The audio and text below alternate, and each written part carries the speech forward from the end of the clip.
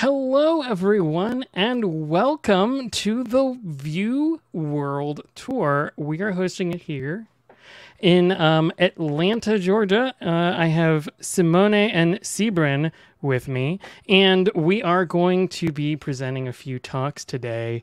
Uh, I am so thankful to this Dot Labs for reaching out. This is super amazing and exciting. We are super happy to be part of it. Um, we're going to go over sort of our regular Atlanta Vue.js meetup stuff that we go through every single time. Uh, first off, uh, we do have a code of conduct, uh, and we want to make sure that we have a harassment free environment. Uh, both for people who are participating as well as our speakers and anybody involved.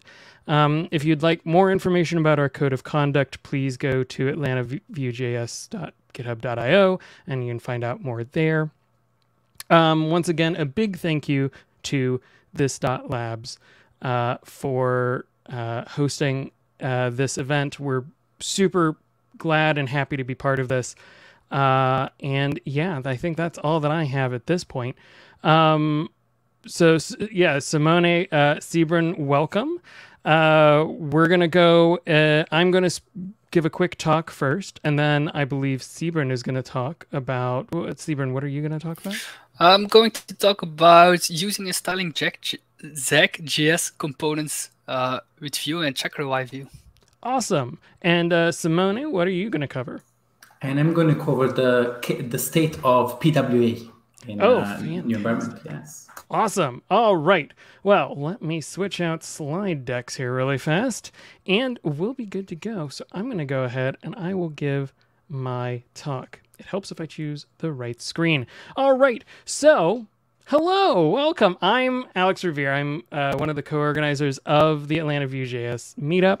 Uh, I'm also a co-host on the Enjoy the Vue podcast, um, and I'm a senior front-end developer for Trena Design. Uh, you can find me pretty much everywhere as at fimion, Twitch, Twitter, GitHub, whatever.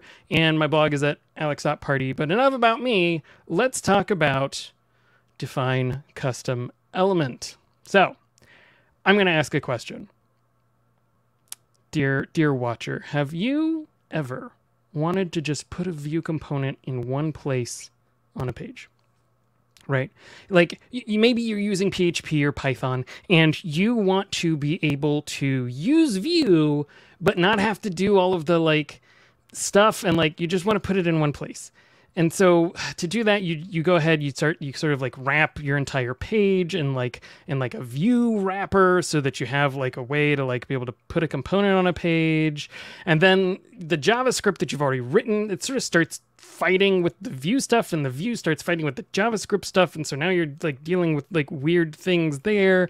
Or or maybe Maybe you're in the enterprise space. Maybe you are working with a micro front end situation. And so you are like wrapping up your um, thing and packaging it and like having to do like a very specific thing. And it's just, it's chaos. Chaos everywhere. And you're tired of it and you want an easier way to do it. Or maybe, just maybe, you're like me and you want to write a component library that other people can use but maybe other people who don't use Vue, right? Maybe you want to write it in Vue, but write it for anybody to use.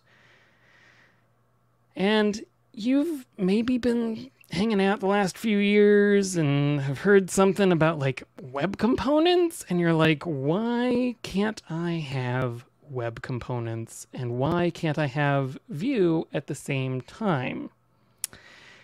Well, introducing define custom element.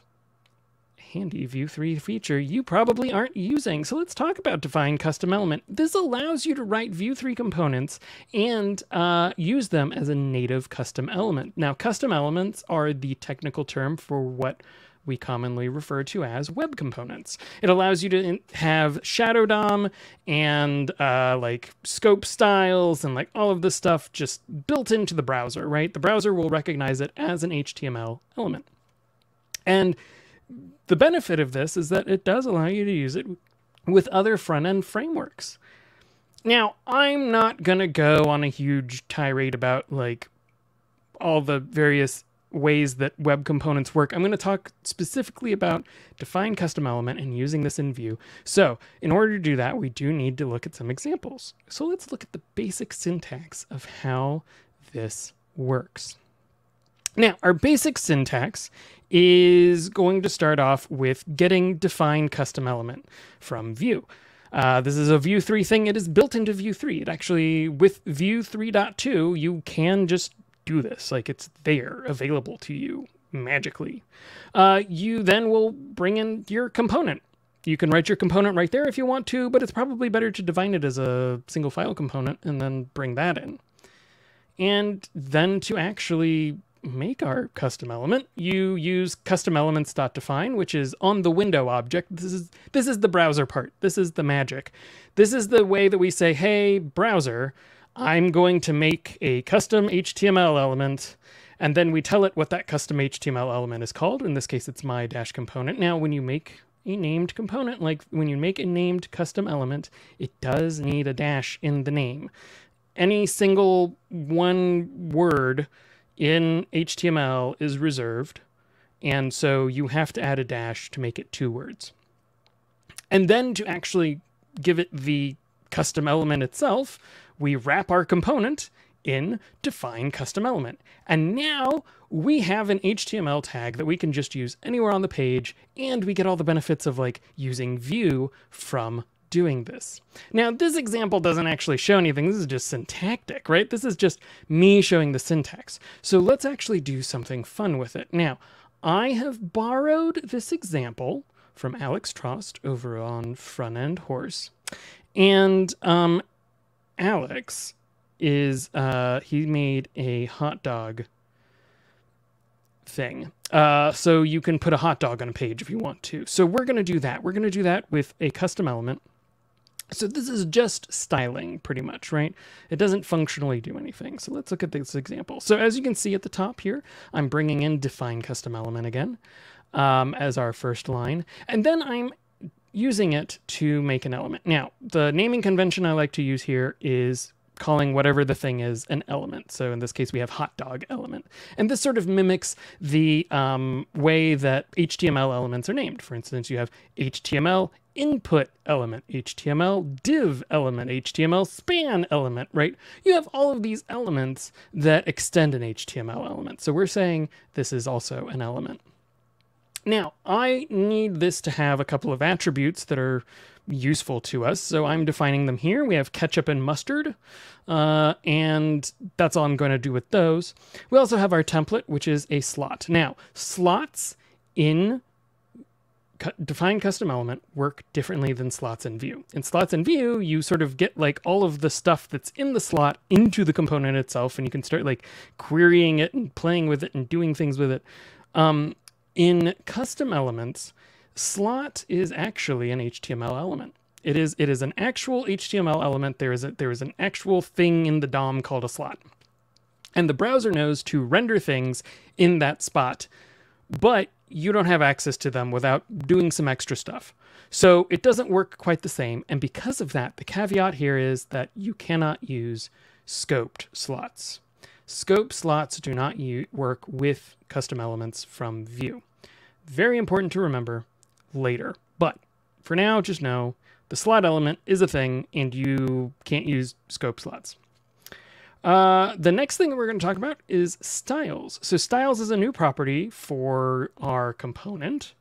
Uh, it doesn't do anything for a normal Vue component, but when you're talking about custom elements, this is the way that Vue knows, hey, these are the styles that need to be injected into our shadow DOM.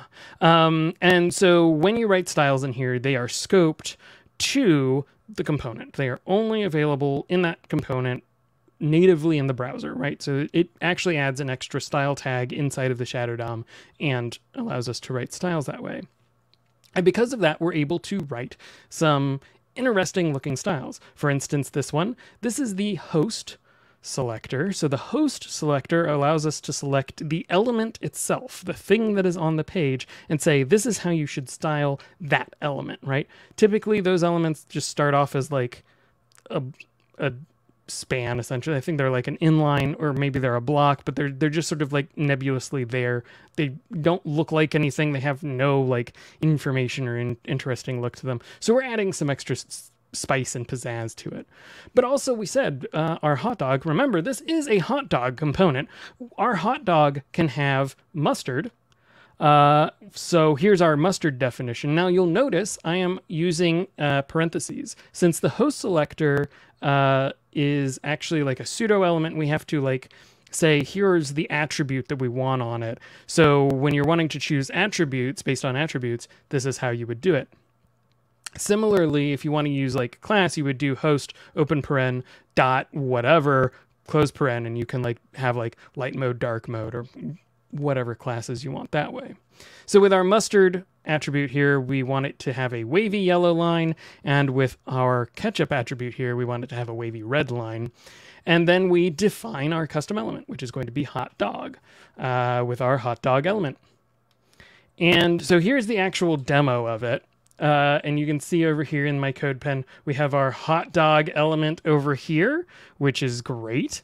Um, and and over here, you can see it's actually looking like a hot dog. And we have our ketchup and we have our mustard.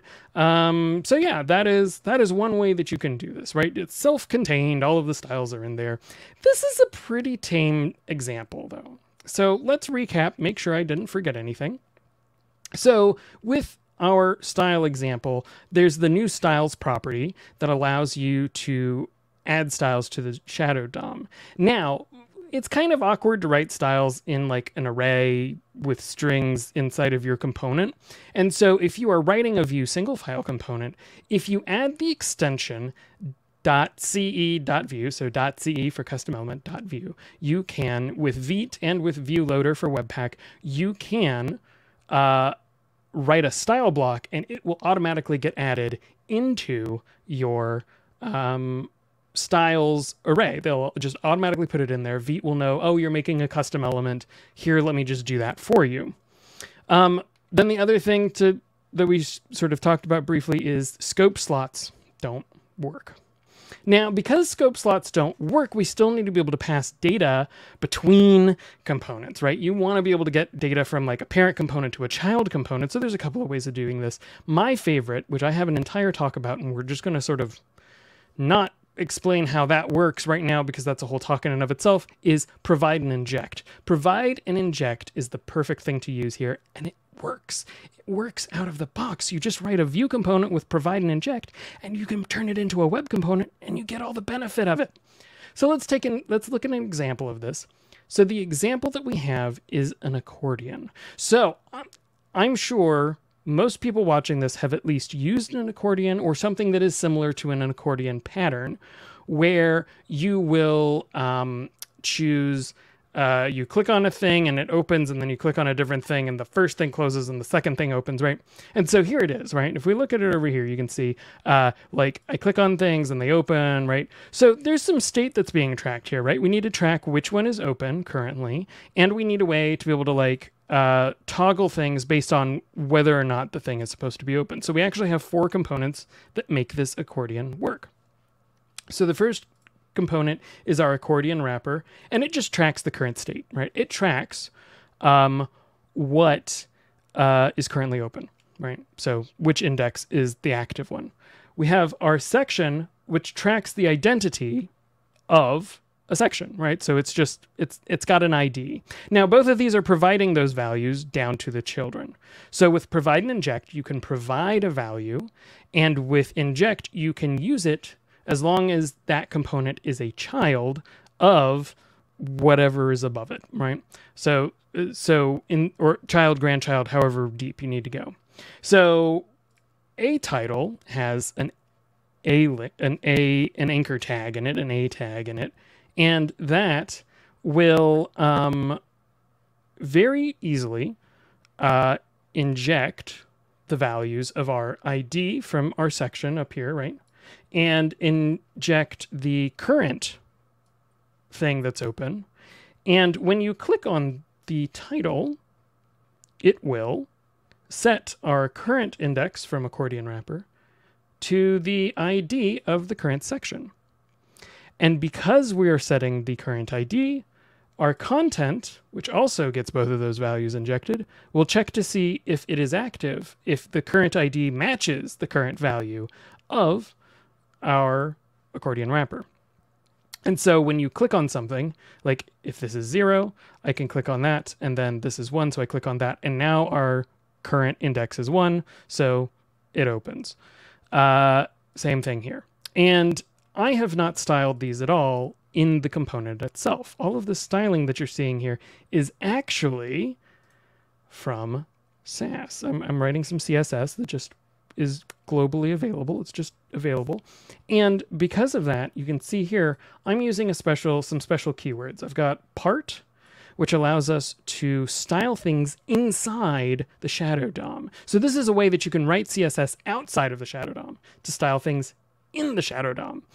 And uh, it will reach in there, style the thing that you want. Now, part works like class does. You add an attribute called part, and it does part equal, and then you can write in however many words that you want to separated by spaces, and it will know, like, oh, okay, I know what that is.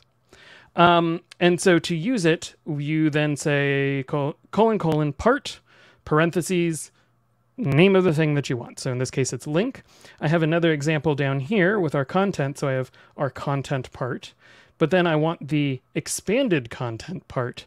And so I'm using two words separated by a space, and it knows what to do with it. Uh, and it will style things correctly. And both of these are being styled from the outside. So I also have a sideways accordion wrapper here and so I've just added a class to our accordion wrapper to turn it sideways. So now it's working left to right instead of top to bottom.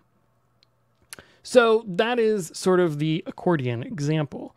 Uh, so let's recap what I talked about very quickly, very messily right there, which is uh, you can use provide and inject to talk between components in uh, in web with web components, but you can also use an outside store. You could use Pinia, you could use Vuex. You just add it into the component, and then now you have a global store. So, for instance, if you were making an add to cart button and a cart icon, you could have both of those talking to each other through a global store that when you add to cart, it updates the backend and then gets a response and updates the cart icon, and it all just works together. But you're not having to create Vue instances all over the place. It, the browser just knows what to do. Um, and then we can use the part attribute to style bits and pieces of the shadow DOM for our custom element and um, be able to do things with it. So lastly, let's talk about good uses and not great uses. Good uses are shared components, right? We talked about component libraries, being able to like share it between multiple code bases. Web components, custom elements work with Svelte, React, Vue, Angular, right? Like all of them should be able to just like drop one in and use it. React is, but it does work. Um, MicroFrontends is another great place. This way you're not having to be like, okay, start a Vue application here. You just be like, just put this element on the page and go, right? Um, also, if you're writing with a backend language where you're not like able to server side render some stuff and you want to be able to like add things to a page, uh, uh, but you need like Vue in like lots of weird different little places, this is a great use for that. This is a great way to do that. Now, what it's not good for is forms. Mm, we're just going to go ahead, get that one out of the way. It's not good for forms. Uh, forms and web components don't play nice at the moment. Thanks, Safari. Uh, and yeah, so uh, the other thing that it is not good at is scope slots. Uh, if you like using scope slots, you're out of luck. Uh, so yeah, that is my talk. Thank you very much.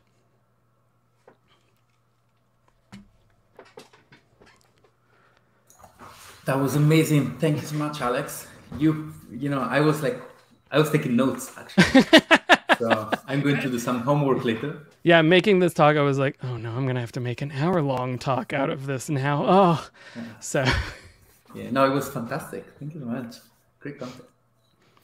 Uh, cool. All right. Well, I believe that Sybren is up next. So, Sybren, are you ready? Uh, yeah, let's hope so. All right. So, I'm up next, and um, I'm really thankful being here. It's uh, really cool. Um, I will be talking about uh, using and styling Zag.js components uh, with Chakra UI Vue. Um, so let me go to my slides real quick uh, so I can put on next. Okay, there we go. Um, this talk is just like 15 minutes long, so I try to jam as much uh, yeah info in it as possible. Um, but it is very much like uh, influenced by the talk uh, that Lazar did, um, called "Intro to Building uh, UI Machines with ZagJS." Uh, Lazar is a um, core member of the Chakra UI React team, and um, yeah, his talk is really more in depth uh, on what is uh, why they built ZagJS, why they used certain things like state machines, what are state machines, etc., uh, etc. Et He's really doing a great job explaining those things. Um, so if you want to watch that uh, talk after we're done here, um, just scan your QR code to go to the link. Um, and um, my talk will be more like how to use it and, and more focused on the code side um, of ZagJS and uh, in combination with Vue and ChakraUI Vue. So first uh, brings me to myself. I'm Sybren and I'm from Belgium, so a long way from Atlanta. Um, I'm a front-end developer at Ericom and um, I'm a core member of the ChakraUI Vue team and a part of the organizers of the Bellevue meetup group. Um, on Discord and Twitter and all the socials, you can find me on the Carweg if you have any questions or just want to reach out to a nice chat. Um, so, ZagJS, ZagJS uh, itself. Let's start with that. Uh, what is ZagJS?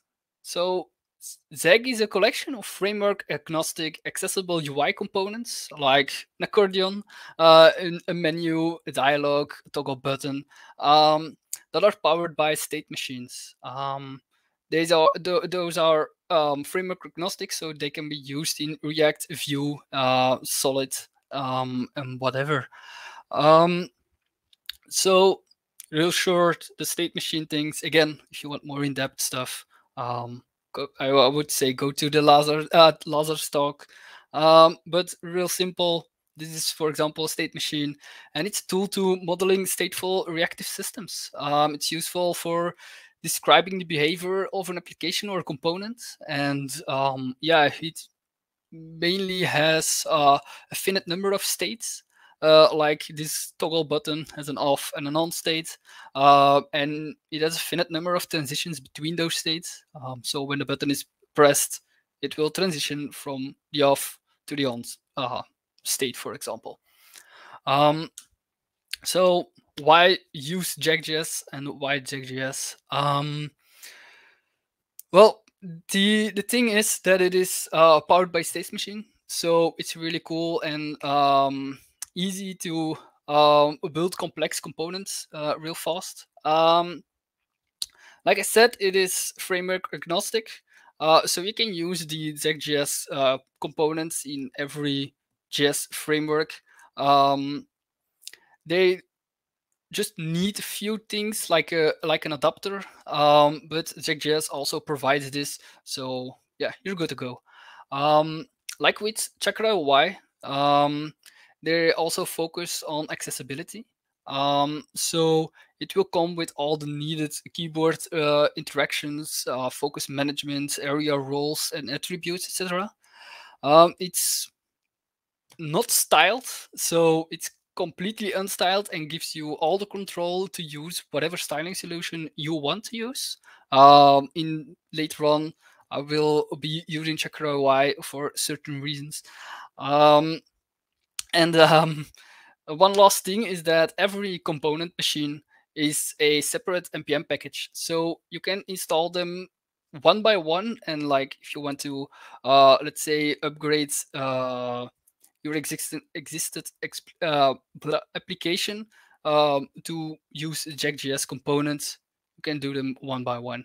Um, so ZagJS is created by the uh, yeah by some people of the Chakra UI team to solve some problems that we have with the different between the different framework uh, versions.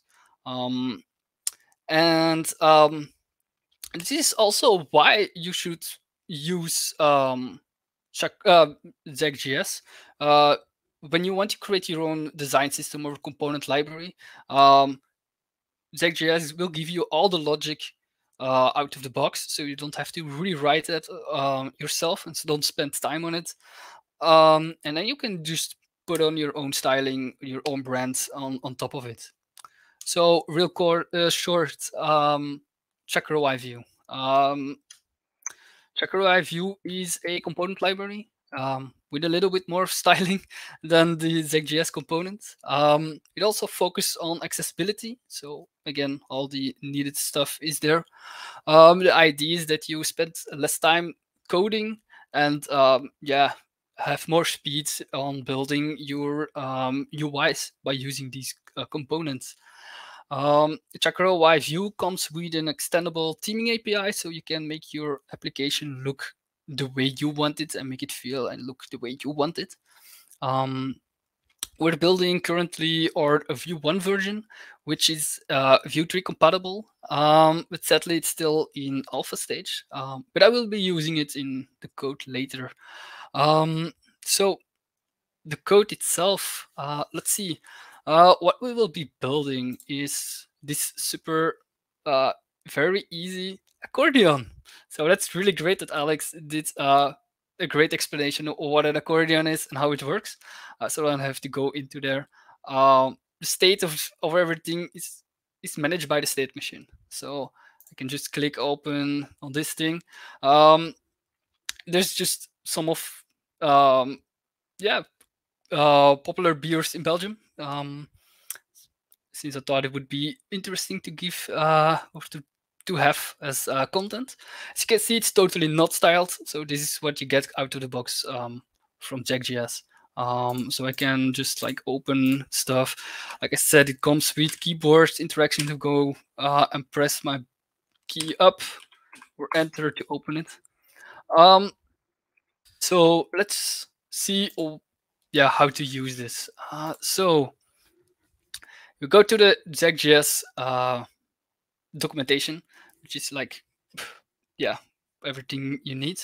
Um, and here you can see that there are already a few um, frameworks that is that are are supported. So React, Vue on the JSX uh, syntax or the uh, single file component syntax, and uh, Solid.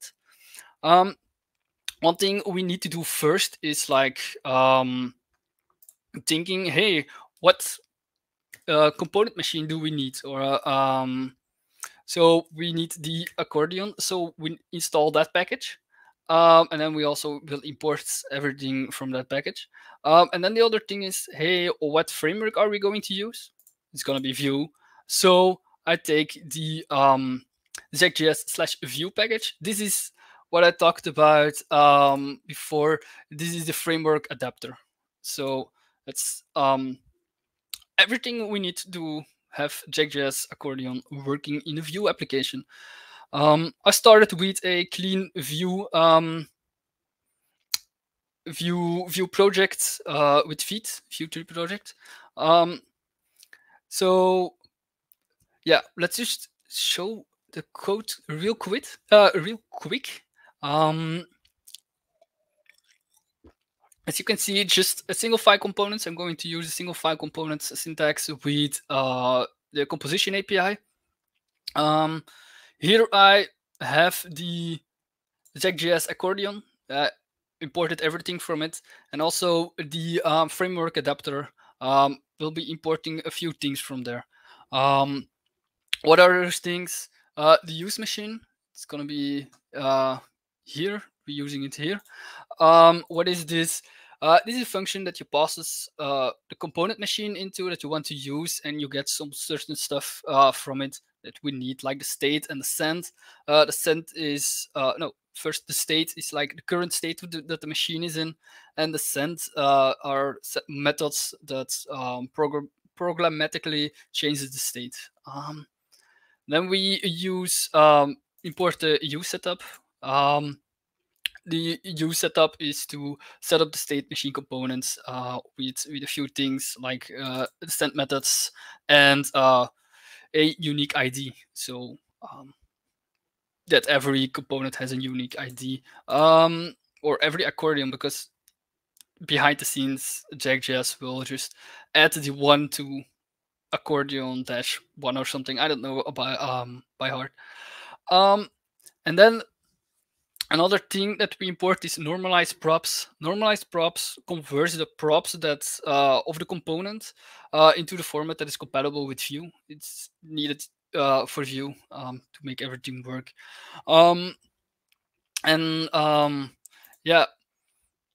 Um, what what else do we need? This is just some content for the um, the um, accordion.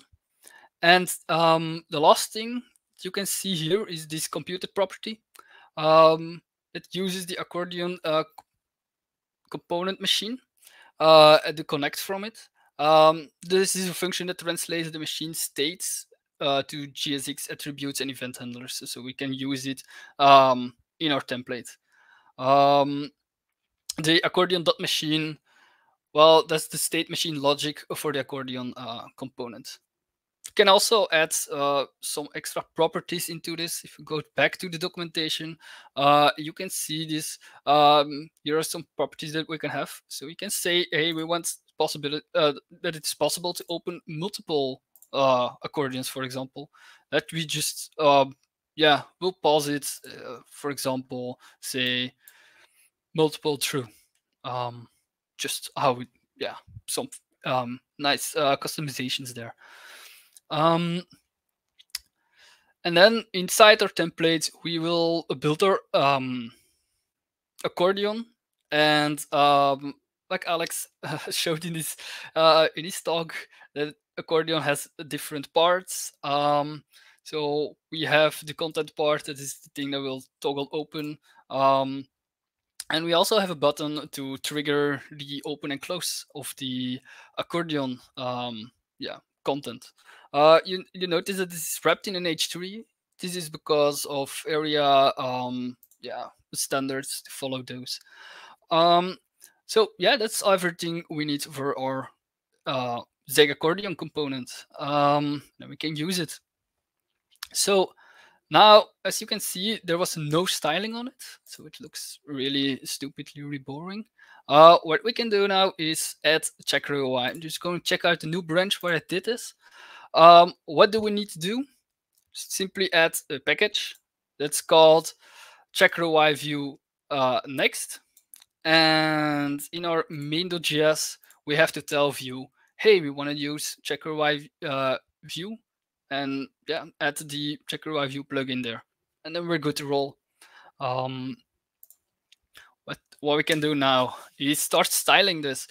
Uh, like I said, Chakra UI Vue comes with um, some components that we can style. For example, the Chakra box, uh, which is a very basic component, which is like a div that we can style.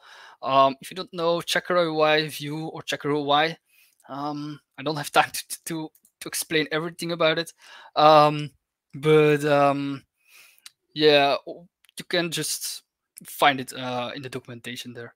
Um, okay, so we style a few of those things with just um, style props like BG for background and take say white border width with one pixel, etc., etc.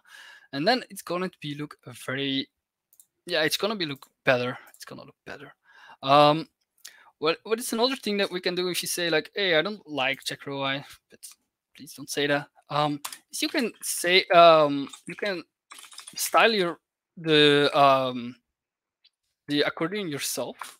Um, let's say with uh with this um, and then go back a little. This is the last thing I will do. Um, just to show you guys. Um, every every uh, part of the accordion has a data part uh, attribute. Um, for example, the data part content, and we can just like use that to um, to style and give it like a background color of red. And then if everything goes as planned, it's red.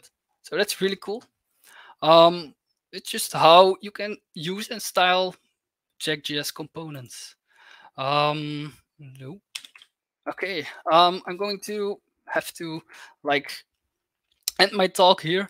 Um, so yeah, I hope it's be cool to uh, check out what what's in Zag.js. The few components already listed in the documentation, but in the inside the code there are a lot more components. Um, and uh, yeah, now you can use them in your next Vue.js project. Um, thank you for your time, and uh, see you next time. Awesome. Thank you so much, Steven. That was super, super handy. I'm Yeah. now I'm we're doing some design system stuff at work, and so I'm like I'm like, oh, oh Yeah. I need to oh, okay. I'm super Yeah. excited. Yeah, it's the same thing for me. Uh, we're also doing. I'm also doing some design uh, system stuff at work, so it's it's cool to see like, hey, I don't have to write the logic of an accordion myself. I can just use this Yeah. and uh, put all the styling on it, like Tailwind or just Sass or whatever. Yeah. All right. Well, Simone, I believe that it is your turn. So, you ready? Indeed. I'm ready. Awesome. I'm ready. Let me handle myself at uh, my own screen. Okay. Here we are. So um, thank you so much for um, you know for making me part of this as well. I always like to talk uh, to uh, this at these events and always be part of this, not just for me for my own talk, but also to listen to your guys' talk. That were amazing. Um, as with the other two talks, uh, we're going to spend 15 minutes today uh, discussing uh, the state of PWA. Uh, this talk can actually be stretched all the way to one hour. So that means that we're really just going to touch upon this. And if you guys want to, uh, you're more than happy to actually reach out uh, in Twitter, and I'm more than happy to share the slides because there are a couple of uh, URLs and references that are very, uh, you know, very interesting to actually have and go through. Before we start, I'll introduce myself. So my name is Simone Cuomo, and I'm a software architect, um, uh, software architect engineer at This Dot Labs. Uh, you can find me on Twitter at Zelly88880, where I'm actually the most active. Um, and I'm actually here today to talk about the PWA. There's not a lot of the Vue-related PWA there. It's more of a generic talk. There's just a little input, but I am a, uh, you know, uh, uh, you know, Vue is the, my um, uh, my framework of choice, and really love and you know, I mean, every Vue event that you can see around. So I do apologize if you don't want to see my face, but I'm there around. So the agenda today is going to be a quick introduction to PWA. Some people still don't know PWA never used, so this may be a good introductory talk for you. And then we think about PWA in practice. We check the success story because people still think the PWA is not used, but they're actually used by big, big company. And then we check what actually PWA can do today. And I'm 100% sure we're not going to reach the PWA in iOS. So that's, you know, I can put my it. But information on this, uh, these um, PowerPoints is very, very important for you to get access to it if you're interested. So the first part is, um, you know, introduction to PWA. If you were in the room now, I would actually ask you to put your hands up to see, you know, how many people have actually used PWA in production. How many people have actually done more than just up? And unfortunately, even if even if it's been around for a long, a few years now, not many people actually use PWA, and it's and it's unlucky knowing how simple it actually is to set it up. So what actually is PWA? Um, from the Mozilla side, we can see the PWA are a web app um, that uses service workers and manifest and other web platform um, to actually give user an experience of on par for native apps, native apps. So in a nutshell, PWA are the missing um, uh, the missing steps between a web application and native uh, native application. Important to say a big disclaimer. I'm not saying that PWA are going to replace every single application out there, that no more phone application, native application should be done. But there are a lot of native applications that people are forced to download that have nothing else than a static side or thing. So that's where PWA can really help. Um, what are the advantages of using PWA? Someone will probably say. First and foremost, it's a smaller size. So we will see later with the success stories that uh, the compa comparing the actual application, like a, a native uh, iOS application or native um, uh, Android application, and comparing that with the PWA, it, you know, the size difference is huge. Um, you also it, it also more accessible for small teams because you just need to program something one in one technology. So HTML, CSS, you can use Vue, you can use React, you can use Angular, but you just do it once and it actually works on all devices. And also, you know, that's something that I, uh, that's one of the main reasons why I've, uh, I've used Vue and started to use is you remove the monopoly in the app stores. So at the moment, the app stores take a lot of money from the creator, from people that actually create it, uh, and it's kind of it's, it, it, drives, uh, you know, who who, who, make, who is successful and who is not. So that gives ability for more stores to be created and more to be created and be more, um, um, you know, more um, competitive, uh, you know, I'd say, uh, market around. Um, as I say, it helps small businesses because you know you need less people. You don't have to pay for uh, iOS and Android device, and also reduce the web traffic. Uh, that's an important thing. Again, if you go, uh, if you are small businesses, it will actually uh, reduce the load on your servers. That is a very important thing. What are the cons? Well, um, it can be tricky to test um, unless if you don't know what you're doing and at the very start. And also there can be some issues if you don't really understand how service worker can uh, does work and that can turn, for example, a very something that can be seen or some people have encountered is issues with redirect. So there are things that the, you know the service worker will reply even if you remove your site completely behind the scene. The service worker will reply and say, "Hey, don't worry, the site is still here," and the redirect will not work. So I know that that's something that maybe you've seen it or you've, you've encountered and, and, and removed it from using PWA, but this problem can be solved. Um, uh, we are going to cover in very few words I'm going to say how to implement PWAs in a few different environments and what actually this implementation will do. Okay. So all the implementation that I've always worked with and the one we're going to share today and many other that you see around are all powered by what is called Workbox. Okay. Uh, Workbox is a set of libraries supported by Google that can power a product ready service worker. So if you go the work, work if you search for Workbox on Google, um, there's a website where they show you all the different, um, you know, different features that they have and uh, how they support you in using um, the service worker. You don't need to use it. You can go, from, you can start it from scratch, but that's a very uh, easy way for you to get started. Something else that you need to be aware that when you use Vite, uh, when you use a Vue, when you use implementation service worker, it, well, 100% of the time in the cases that I've seen, they use Workbox behind the scene, okay? Because it actually makes it very simple for you. Uh, as I mentioned, you can start with Workbox, and then you can actually expand to more, uh, more advanced user as, users as you go through. Um, the reason why I'm talking about Workbox is because that that um, make it so simple that you have no more excuses. Okay, you'll see today how to set it up. You cannot say that it's too hard, and there's absolutely no reason for you not to set up something. Uh, we're going to go and see three different examples on setting up a PWA in CLI, with, so with the Vue CLI, with Vite and PWA from scratch. What does setting up a PWA actually means? Okay, so um, we're going to see later on in this talk that PWA and um, the feature that are offered are so wide. Okay, there's so much stuff. But what I mean today, what, they, what usually encourage people to do is set up the very basic PWA. What the very basic PWA does will it will cache your static content okay? And we'll make sure that the a file that has already been accessed before will not be downloaded. So let's say, for example, you have a documentation site, yeah? By just installing the PWA, as I'm going to show you now, that documentation site is actually gonna um, uh, all the different files that a user may access. Yeah, so the main page, all the images, everything, the JavaScript, the Vue.js file that are loaded behind the scene, they will be automatically be cached behind the scene. So if a user accesses that page again and is completely offline, they will still see the last site is seen. The PWA will automatically handle updates. So what that means is that if you actually push a new version of the sites, when the user go on the site, that version will be downloaded, and there is different way of actually downloading it. So really, there's a no-brainer of doing it because it will save your server all the requests. It will make it very, very simple quick to the user. And this is really what I mean by the basic um, example of a PWA. I'm not talking about telling people to download it on the screen, make the splash screen, and do all the crazy things.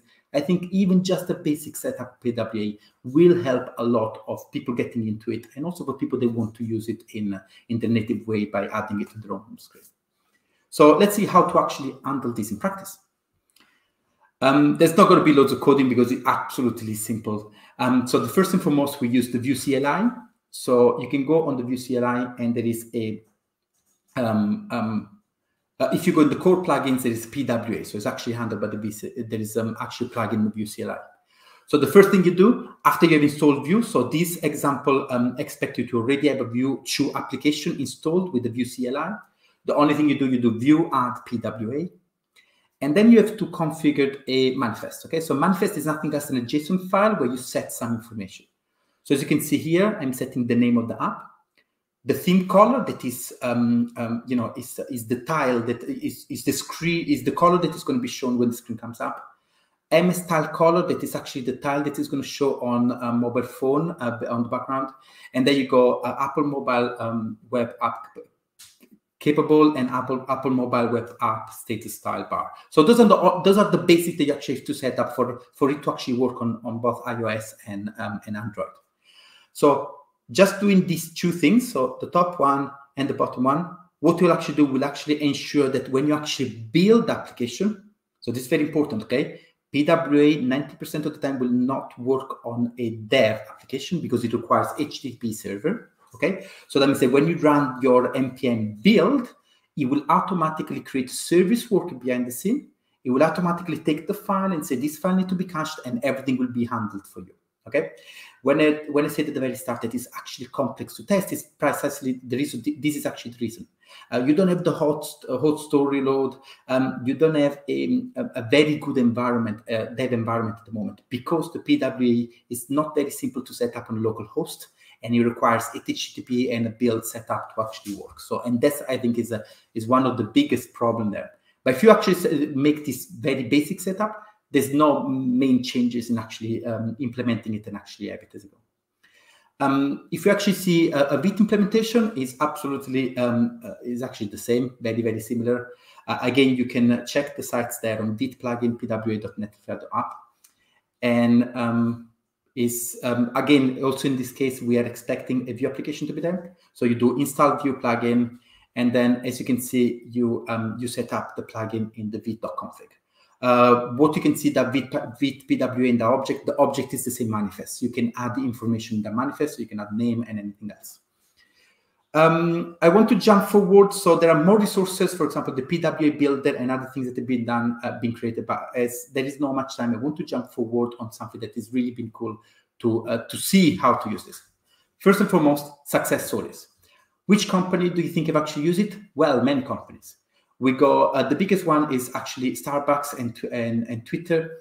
Um, if you go through here, you can see that there's been a big, um, uh, you know, a big increase, a, a, an absolutely immense um, uh, result. So as you can see, this is when I was saying about the the, the, sizes. We go from 10 to 50 megabyte to just 150k. Twitter, very very good upgrade. Um, Trivago, they had a 97 increase on uh, on people actually clicking on on the tile. And, and again, you can go over and over. So if you search around people that have tried PWA and spent time investing in it, it actually had a, a good, good uh, return. I do apologize that I'm running, but I want to go to the last resources. That is, um, um, you know, actually sharing what can we do with PWA. Okay. Um, as I mentioned, people think that it really just stops to the first step. Yeah. So they think that that's all you can do with the PWA. But in reality, if you set up your site with PWA, you can do way more. Um, I found this site while I was searching for when I was getting this talk that is called what PWA can do today. Okay, it's so hard to say, even worse for me to write it. I always forget about it. Um, but this site is very um, very interesting. So if you access this site with your with your um, uh, with your device, it will tell you precisely all the features that you can use on your device. For example, you can see here that I'm on a Windows machine now, so I could install it on my home screen if I click here it shows you all the different features. So guys, we got authentication, uh, we got audio recording, we got NFCs, uh, we got payment. So all these are actually available. Now, remember that when we say to implement PWA and service work in this feature, we don't mean that you're actually going to force people to replace and add these things in their app.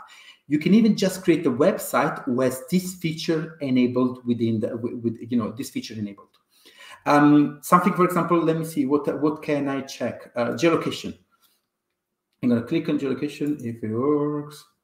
It's not work for me. Oh, I think the site is. Uh... Okay, geolocation. I don't have permission. So, okay, of course, this is permission level. As you can see, I stopped the permission for the geolocation. Let's go notification. Let's see if it goes. What is nice about this as well, it tells you how the code is written. So you can actually see it. Um, the notification actually sent, but sent on my other screen, so not another one to, to check. Um, authentication no, vibration no, because I don't have authentic vibration. Let me see what else. Uh, network information. Again, you're able to see the speed, so you're able to probably provide different things, audio, file system, all these, it's available. Okay. Um, of course, some of the, not all of these is available to all the screen, uh, all the, all the, um, um, you know, all the browsers and all the mobile phones and everything else, but all this is actually happening. Okay, um, I did a PWA app for a company uh, four and a half years ago, and less than half of this was actually available or even in the making. Okay, so what we have right here, guys, is, is a process of actually really, really browser trying to come out and trying to really support the usage of PWA. And I really hope that um, maybe with this talk, maybe with people coming in, maybe from the success stories that we uh, briefly touched, people will be able to actually understand and get this through. Another one is barcode attach. I never used it, uh, but again, it's something else that um, that it will be done. For example, it doesn't support on my device, but it does on mostly all mobile phones. Um, again, uh, I'm a very. Uh, I know that the time is up, so I'm gonna uh, stop talking uh, right now. But um, I'm a really, um, really supportive of PWA. And not because I hate apps, there's nothing to do with it. It's just I know that so many um, websites could really benefit for, uh, from these features that are supported. Um, it will really, really benefit uh, not only the person and the development team that is doing it, but even the end user will will will benefit from actually having things implemented this way. They will save on mobile data. They will have a better experience when they actually access the site, um, you know, in a in a in a in a bus or in a Shagator selection. And something else as well. You have to remember that uh, not everyone has access to a very fast internet like we have so I'm originally from Italy, so I go to Italy many times to on holiday on the south of Italy, and there is no connection. Like to load the page, it takes around two minutes. So when I actually can go on a page and the page is already preloaded, and the only thing he has to do is fetch the new data, the difference in actually in loading time is absolutely met. So actually, you may gain a lot of users and a lot and increase your business, um, you know, um, extremely by actually implementing the PWA. So I really hope this gets better next year. I'm not gonna have to do this talk anymore. Um, and I thanks um, thanks both Alex um, for inviting me and Sybren. And I'm going to invite you back in the stream. Yay! Woo! Done it! That's exciting. I, I I had not realized that there was that much stuff like available to PWAs now because I remember setting them up. You can even do touch ago. now. You can, yeah. So on a, on a mobile phone, you can actually do touch. So when you go on a site and say login with the touch, yes, it's all implemented. It's all supported. Yeah. That's cool. That's yeah. amazing. That's mm-hmm. super cool. Well, all right. So that's sort of it for the formal talks. Now, I don't know how many people are actually in the chat for video at the for the video at the moment, but if anybody has any questions, feel free to jump in. Um yeah, do y'all have like uh, do y'all have anything that you didn't cover that you want to just sort of like briefly that you were like you're like oh wait actually there's a, really important thing that we need well well let's say one that, hour later. let's say that i may have um, uh, inadvertently uh, forgot to mention that the pw support on safari on ios it's awful. Mm. but they've done it on purpose not yeah. so know, yeah. Yeah so um but yeah the, the the, the slides will have a lot of content on that if people want to get it. Cool. Excellent. Yeah yeah the it's the same thing with the with web component support. There's there's a bunch of things that web components can do that we're, we're kind of we're, we're, waiting we're we're politely waiting for safari to oh internet explorer is dead Daddy, daddy. Yeah. yeah, the scene. Safari comes around. In- Internet Explorer is dead. Long live Internet Explorer. Um. oh yeah. um. So yeah, I think I think that's everything that we have today. Uh, I am not seeing anything in the chat. I'm not seeing anybody asking any any questions in the chat. question. You have a question? question. Yeah, Go I have a question. Uh, it's it's one for you, Alex. Okay. Um, so I was thinking if I want to migrate from uh, migrate my application from let's say Angular yeah. JS, let's make mm-hmm. it make it that uh, to Vue. Can I just start like using the custom elements created um, with Vue to like systematically change uh, yeah the Angular components? That is a great question. I have no idea. And that's not from me. That's more of a I don't know how Angular JS is doing things. Yeah. Um I know that so I know that with React there are issues with web components sometimes. Um, and there are some more caveats with define custom element. For instance, you have to like if you want it to be able to have a class, right? You want it, the class attribute, you have to add that as a prop. And I think that there's a bug in there somewhere. I need to file a report about it. I was sort of running into that as I was making examples. Um, but it's a similar thing with um, with like other frameworks as well is that there may be like little gotchas where they're like like with vue if you want to use web components in vue then you have to like tell vue like by the way th- when you see this that's a web component so Yeah. All right. uh, so it's it's it's one of those where it's like sometimes if if if Angular JS. Now that being said, like if Angular JS is just like I don't care, like sure, whatever, it's a tag, whatever, move on, right? It'll work. It'll just work. Um, there's not anything special that you have to do to like Okay. use it or anything like that. Um, so yeah, I know that we started. I started doing it. Uh, we added a custom element to our website um, as like a as like an infinite scroll thing um, to get some text just to like infinitely scroll across the page, and uh, that was wrapped in jQuery. That broke some things, uh, and I had to account for that. Um, so yeah, it's you run into weird edge cases like that Mhm. occasionally, but yeah, that's sort of my answer. Is that it depends. Yeah. Always depends. All right. Yeah, always depends. Ah, cool. Yeah, give it a Um, shot. See what happens. yeah. I don't have an AngularJS application though, but uh, we'll see. Um, Another question, but it's more uh, about the Vue World Tour. Mhm. How can I make it stop in Belgium? Mhm. yes. You- Now it's in Atlanta, and I Mm, wanted to come okay. over. Um, there is absolutely no problem. Uh, reach out uh, later on Twitter, and I'll uh, connect you to the the digital media site that will support you in actually moving to Belgium. And we can do it at a better time for me and you, Simon. So for people watching, it's around 9 p.m. for me and 10 p.m. Yeah. for. So you know, uh, we do our, uh, you know, we work hard to make people happy around the community. So it'll be great. Let's do it at midnight uh, EST. There we go. No, you wouldn't like that. That'd be like first thing in the morning for y'all. So yeah, yeah, yeah, yeah. Let, let's not go too far. Let's not go too far. yeah, you make it be a, a breakfast date for us on the East Coast. State. So That sounds Yes, good. yes. yeah. All right, thanks. I will do that. I will do that. Amazing. Awesome. Well, I think that's it for us then. Um, thank you all. Thank you, Simone and Sybren, for coming and doing this. Thank you to uh, this dot for making this possible and making the Vue World Tour possible and reaching out to us. We're once again we're super excited to be a part of this, and uh, we are so glad uh, that y'all are a part of this community and it's super great to have y'all here. So, uh, thank you, everybody. And I think that's it for us today. Thanks. Thanks. Bye.